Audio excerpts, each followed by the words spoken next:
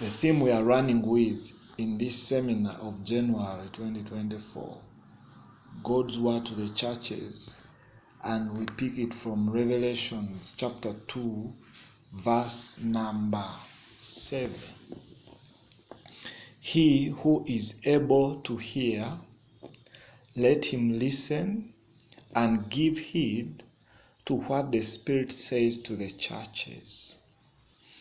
And I remember telling us yesterday that how we come in is because of this verse. The messages were for those seven churches, but then this verse brings us in. We are among those ones who are able to hear. I believe that you're able to hear, aren't you? Me, I am able to hear. So when the Bible says, He who is able to hear, that means now all of us get included in that book. All of us get included in that message to the seven churches. And then he says, He who is able to hear, let him listen and give heed. So he doesn't just want us to listen, but he wants us to give heed to what the Spirit says to the churches. And then part B of that verse says, To him who overcomes or is victorious, I will grant to eat of the fruit of the tree of life, which is in the paradise of God. I like it that God is a motivator. I like it. He never asked me to do something without an attached reward. We see it all over the Bible. Even when he was getting these guys out of Egypt, he told them, I'm taking you to a land that flows with milk and honey. When Jesus was about to go, he says, ah, Do not let your hearts be troubled. Trust in me. For in my Father's house there are many mansions, and I go to prepare a place for you. He is a motivator. Now, God is telling us that he who overcomes, I will grant to eat the tree, uh, the fruit of the tree of life. So, whenever we are in a fight, this fight of faith, you remember the devotion we had, uh, is it last week or the other week? That faith is a fight, you know, it, it we fight for these things. Jesus has provided uh, these things, but we, we fight to manifest them. We, we fight temptation. We, we fight uh, to stay safe, to stay sober. We fight the devil. As we are engaged in that battle, all those battles for that matter, we should always remember that at the end of the battle, at the end of the fight, when we are victorious, we shall eat the fruit of the tree of life, which is in the paradise of God. There will be that day. Actually, there will be an eternal lifetime of eating the fruit of the tree of life. He who overcomes. I pray that I will be among those who overcome. I pray that you'll be among those who overcome. In the mighty name of Jesus. He who overcomes, I will grant to eat of the tree of life. Why do we do what we do? Why are we on these altars every day? Why are we serving the OSI? Why are we, you know, fighting temptation? Why are we fighting the fight of faith? Paul said, I have fought the good fight. Let's read that scripture. Second Timothy. I think it's important. It's related to this one. Second Timothy, I think chapter 4, if I remember well. Uh, Second Timothy chapter 4, uh, verse, uh, verse 7. Uh-huh. I'm encouraging somebody to not give up. Yeah. I'm encouraging somebody to fight. Fight for your marriage. Fight. Fight to stay married. I tell you the truth. Fight to remain faithful as a husband. Fight to remain faithful as a wife. Fight to remain faithful as a minister. Fight. Fight. It's a fight. It's a fight. I tell you, we wait, they give us a certificate and then they send us to fight to keep this marriage standing. I have fought the good fight. The Bible says, I have finished the race, I have kept the faith. Oh, how I pray that this shall be like the testimony and the declaration of every one of us when our journey on earth is done. You know, you see these obituaries in the newspapers. These are the, these things are the funeral services. You know, these days they they are, I think as part of their package they even put something in the newspaper about the person. So I think these guys in the funeral services they know some verses which work for certain occasions. So you'll find anybody, whether it was a thief or what, you know, then they put at the end, I have fought the good fight. Sometimes you ask yourself, which fight did this man fight? But for us who are born again, for us who are children of God, for us who are pursuing holiness, who want to go to heaven, I pray that when they finally say that on the funeral, everybody will say, Yeah, sure, sure. He has fought a good fight. I pray that when they are giving that speech, and you know, even in heaven, they are in agreement that yes, she has fought a good fight. He has fought a good fight. She has finished the race. She has kept the faith. Keep the faith, child of God. And then he says in verse 8, he says, As to what remains henceforth. You see motivation? As to what remains henceforth, there is laid up for me the victor's crown of righteousness. Hallelujah. There is laid up for me the victor's crown of righteousness, which the Lord, the righteous judge, will award to me and recompense me on that great day, not to me only, but to all those who have loved and yearned for and welcomed his appearing. Excuse me. Fight. There is a motivation here from Jesus himself. Revelations. Him who overcomes, him who is victorious. Hallelujah. Are we are we together? Are we together? Now we go to the next church, to the angel of the church in Smyrna. the whole morning I was practicing how to pronounce this name. Smyrna. Smyrna. I, was, I was trying to practice so that by the time of the lunch hour, I would know how to, uh, you know, pronounce it very well. But anyway, you see it, you see it in the verse, that, that one. Eh? To the angel of that church, these are the words of the first and the last, who died and came to life again. Now, listen to the message to this church. I know your affliction and distress, and pressing trouble, and your oh God, Gloria, and your poverty, but you are rich. Eh, what a church! What a church! what a church! I know your affliction and distress, and pressing trouble and your poverty, but you are rich. You know, when the evangelists, I'm among them, when the evangelists are preaching to us, this kind of message cannot come out of an evangelist. Like on a crusade or in a, you know, this kind of they will tell they, they cannot tell you get saved.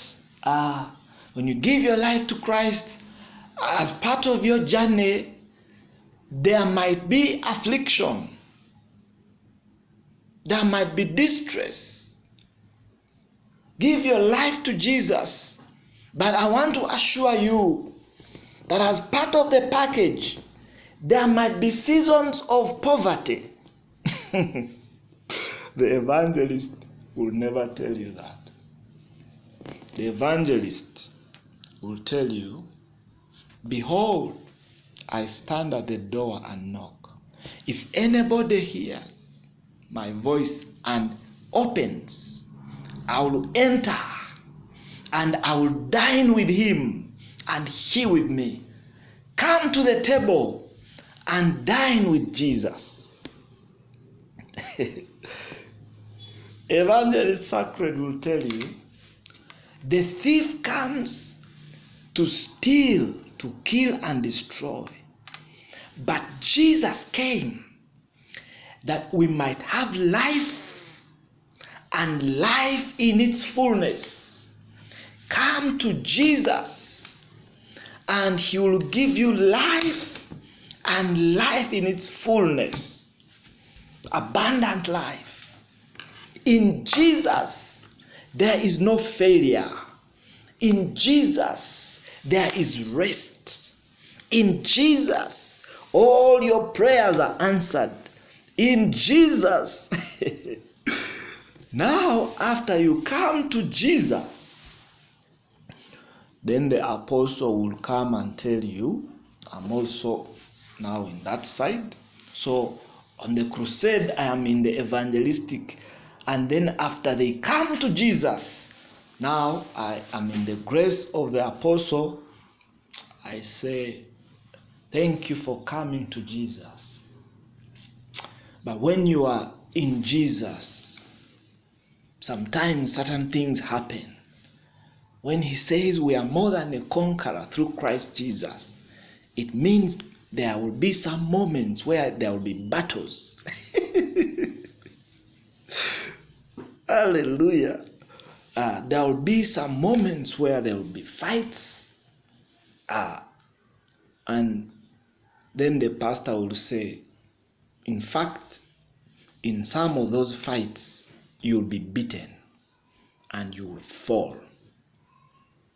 But the righteous, uh, when he says you will fall, the evangelist will pass around to preach in an overnight and the evangelist say, Ah, a righteous man falls seven times, but he rises again.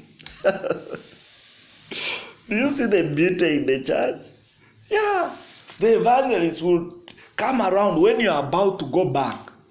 When you're saying, ah, Is this what I signed for? The evangelist will come around in an, overnight and say, Aha, there is hope for a tree when it is cut down. the teacher the teacher will be telling you how to handle disheartedness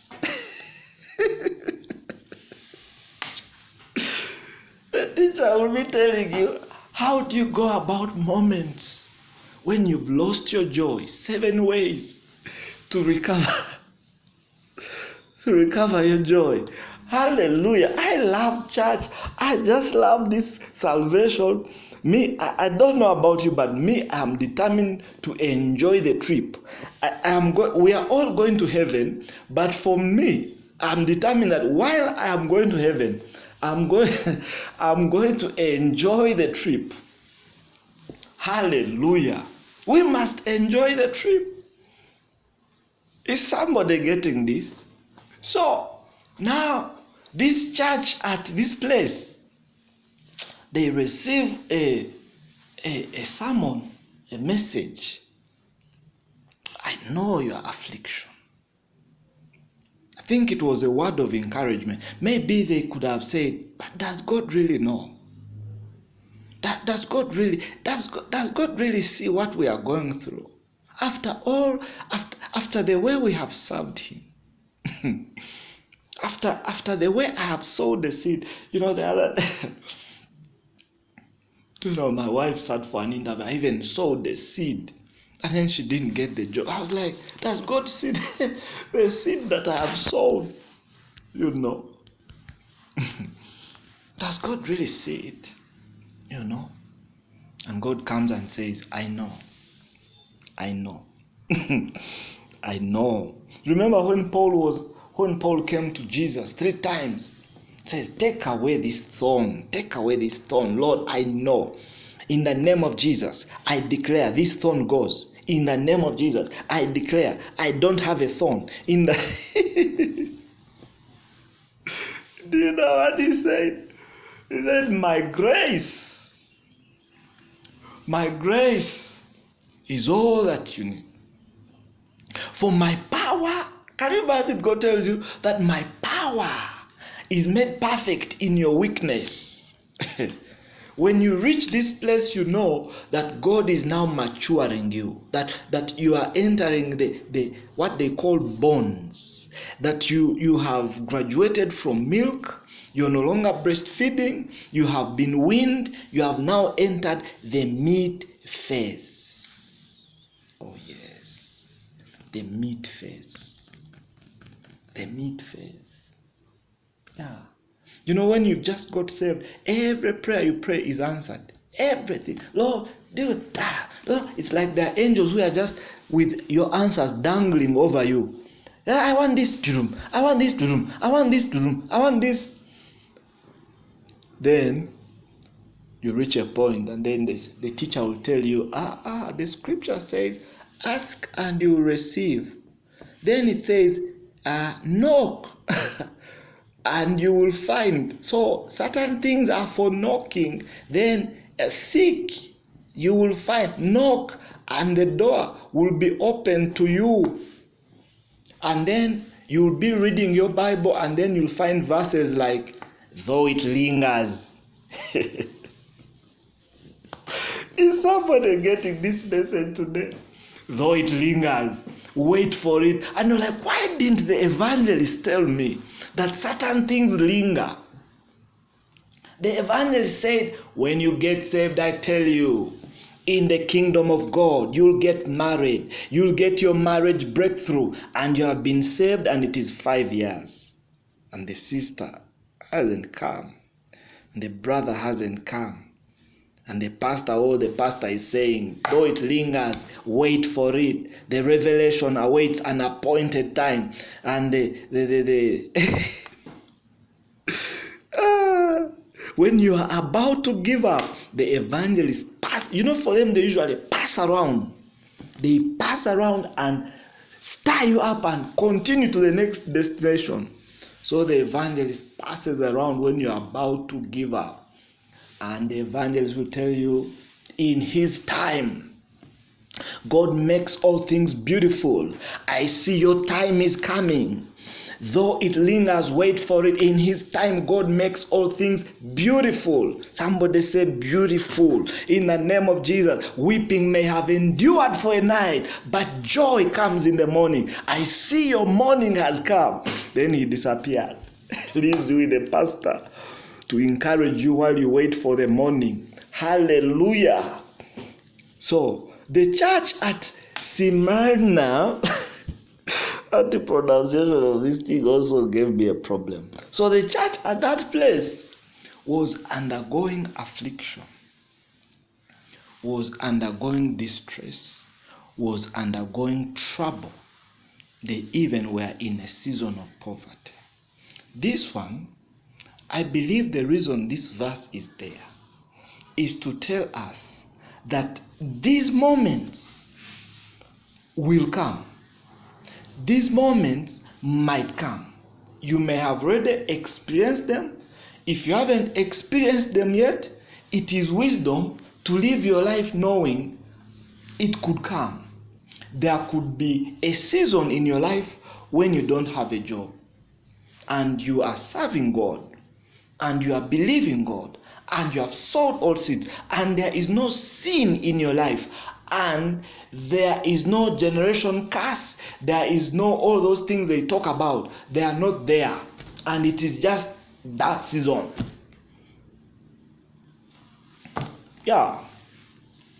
Today I'm giving you meat. Just receive it in the name of Jesus. Just yeah, the verse is there. I wish it wasn't there, but it is there. And this one is also one of them which says, He who has an ear, let him hear what the Spirit is saying to the churches. This, this, the, the time will come, affliction will come. Like some of these things, you need to be in the healing ministry, and then you see. The healing ministry, in healing school, one of the things they teach us, there is a topic called uh, the thrill of victory and the agony of defeat. The thrill of victory and the agony of defeat. If you're in the healing ministry, you have to be ready for the thrills of victory. There are those moments when you know you prayed and healings and miracles and what have happened, and then there are moments you pray for somebody and they die. Agony of defeat. Ask yourself, why did I not do right? It is bones, I tell you the truth. These times come. They come. But you cannot you cannot afford to, to give up because the, the, the, the mystery of this thing is that this week you can pray for someone and they die. Next week you pray for someone and they get a miracle. You ask yourself, was I anointed last week and I'm not anointed this week? Was you know some of those things we don't know. We don't know. The Bible says we know in part. When he comes, we shall know in full. For the meantime, we just go with what we know. Oh, yes. Hallelujah. We keep running. You pray. You know, when the hour was starting, I preached a sermon in the Upper Room Church in Mbarara. I told them, the Bible says, I think I preached it on 31st. I told them the Bible says, uh, all things have passed away. Behold, all things have become new. I told them that scripture says, forget the former things. So I told them the things which didn't work in 2023. Just forget those things and we have an opportunity with a new year. We have an opportunity to believe again. We have an opportunity to serve again. We have an opportunity if you applied and they didn't take you, you applied and you sat the interview, they didn't take you. This is a new opportunity. Forget the former things. You know, don't have your pity party, don't carry your pity party into 2024. Wipe your tears. Start over. Apply again. Send your CVs again. Start over. The world is not going to stop. Hallelujah. ah, I still love you, and uh, I'm sharing with you these things because I love you, and I need to tell you the truth. I need to speak to you the truth, the depth of God's word. Jeremiah talked about prophets who are prophesying lightly. I don't want to be among those people who prophesy lightly. Like, I spare you certain things. I, I, I spare you certain things like, ah, this is too much for them. No, I have to give it to you so that you know. God told them, I know your affliction and distress, your poverty, but you are rich. You are rich. He, he told them that they were rich in spite of what they were going through, in spite of their afflictions, in spite of these guys were abused, these guys were uh, reviled, they were slandered. These days, these things will come. You know, somebody can say a thing about you, and you're also amazed by their creativity. they tell you the story which somebody has made about you and you're amazed at how creative people can be oh, yes. You know, these things, you just have to have a different perspective. Instead of having a pity party, just say, this person is really creative. How, how could he even think about it? How could he even come up with such a story? He's really creative. You know, those are survival stunts for pastors, survival tricks for dealing with slander, dealing with discouragement. Hallelujah. Hmm. He says how you are abused, how you're reviled, slandered, but those who say, by those who say are Jews. Now, verse 10. Excuse me. Verse 10. Fear nothing. You would think, Munang, verse 9 is too much. Let him stop there. He continues. Fear nothing that you are about to suffer.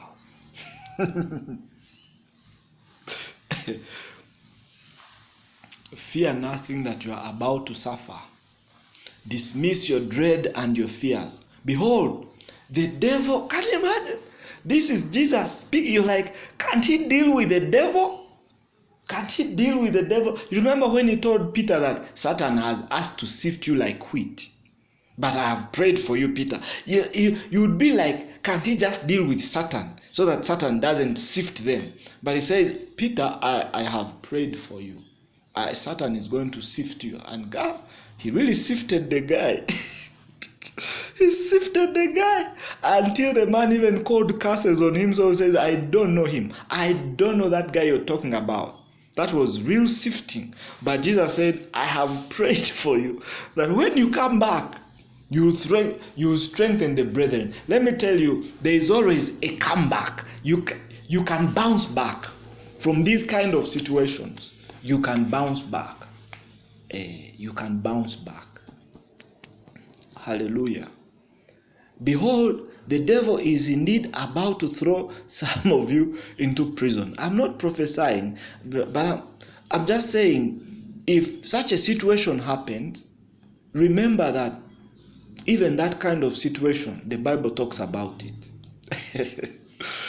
uh, the, the devil is indeed about to throw some of you into prison that you may be tested and proved and critically appraised. So it might not be prison for you, but you can be sure that in the 366 days that we have in this year, there will be some of the days where they will be dedicated to the testing of your faith. Some of those days are dedicated to the testing of your faith because it has to be proved to be genuine. Yeah. The testing of your it is what James wrote as say, rejoice when you go into all kinds of trials because the testing of your faith produces perseverance. Some of the days are dedicated to the testing of your faith, to the testing of your staying power how long can you stay? How long can you wait? How long can you believe God? How long can you hold on? How long can you keep your virginity? How long? How long? Oh, yes.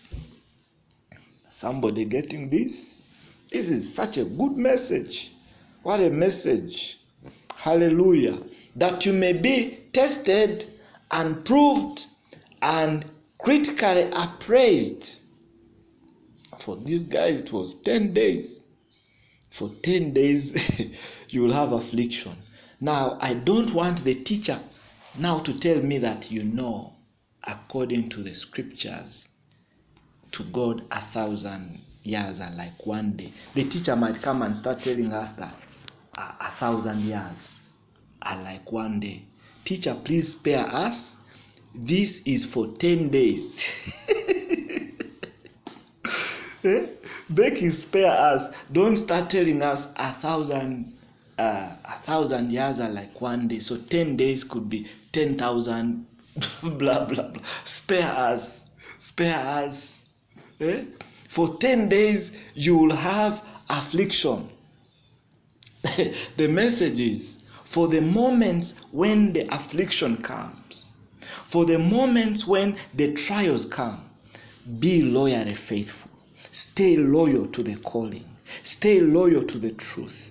Stay loyal. Be like Paul and say, I know whom I have believed and I'm persuaded. Stay loyal to the calling. Stay loyal to your faith, child of God. When those moments come, when those challenging times come, when you know you believe, you pray for this job, you do everything, you, you even get dreams while seated in the office. you don't get the job. You know, has it ever happened to you? You pray, you believe, you fast, then you even get a word. The pastor tells you, I think this is your season. And then another visiting preacher says, I see the Lord opening a great door. You're like, this must be it. and then you go for the interview, they tell you, you you did well. You really did well. You impressed everybody. But for some reason, they gave the job to another person. ah. When that happens, stay faithful. stay what? Stay faithful. Even if you must die. You know, dying may not be like physical death, but dying is. Do you know the death that you die when you have told everybody that, you know, I this it's just a matter of time. They, they, they are just it's they're just dealing with the paperwork. I've just I, I was told by somebody inside uh, i was told by somebody inside that i've just got the job and and do you know the death that you die? To tell people that uh, by the way i actually didn't get it. Do you know the death uh, keep faithful.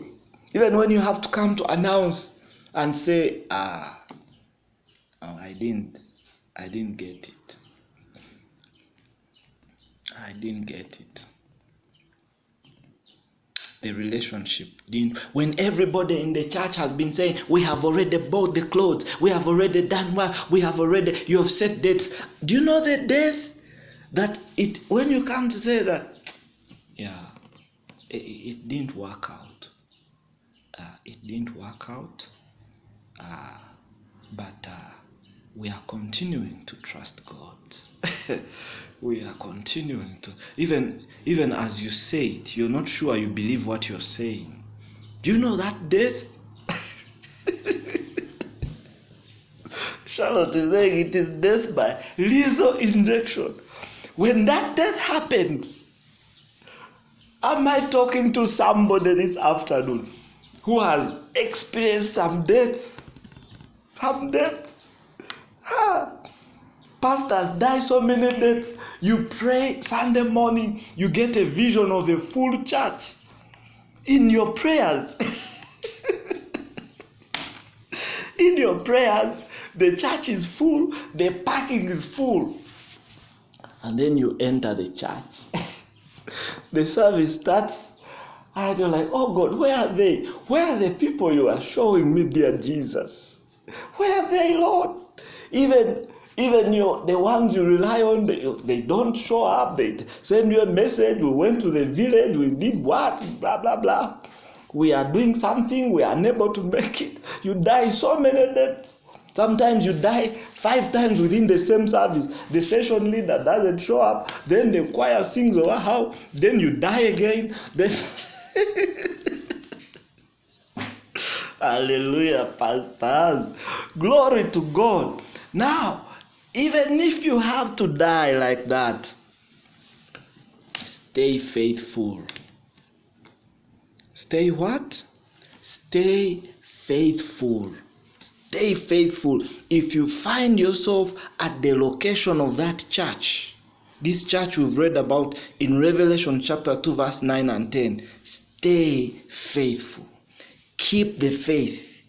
Hold on. Hold on even if they say, We are sorry, we are sorry, you're such a great guy, but you're great for another sister. Hold on.